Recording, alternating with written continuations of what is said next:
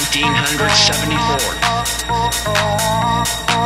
is the year that they are now planning for sex on the streets in every major city from coast to coast. And get ready for a shock, the music that they're planning to use to crumble